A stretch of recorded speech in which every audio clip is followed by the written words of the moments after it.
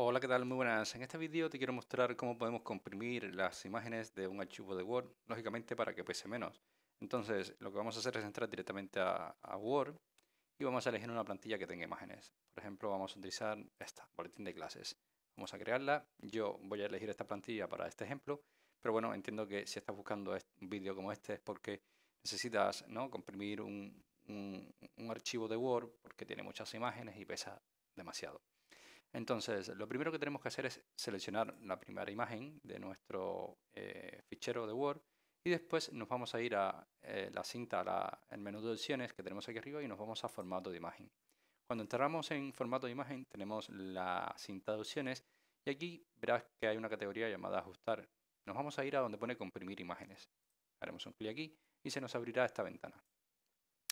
Abierta esta ventana, si te fijas, lo primero que nos marca es aplicar solo a esta imagen y si queremos aplicarlo a todas las imágenes lo vamos a desmarcar y después vamos a dejar esto, eliminar las áreas recortadas de la imagen y podemos jugar con las diferentes opciones que nos aparezcan aquí.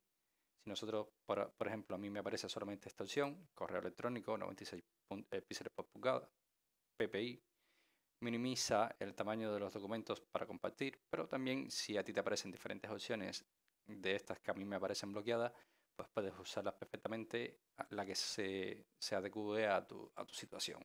Así que nada, haciendo esto, le damos a aceptar y estaríamos aplicando este mismo cambio para todas las imágenes del documento que tenemos eh, abierto y queremos eh, comprimir. Así que nada, de esta manera tan sencilla es como podemos comprimir las imágenes de un archivo de Word. Espero que el vídeo te haya gustado, que te haya ayudado y si es así como siempre te digo, te a que me dejes tu like, suscríbete al canal y por supuesto nos vemos en un siguiente vídeo. Chao.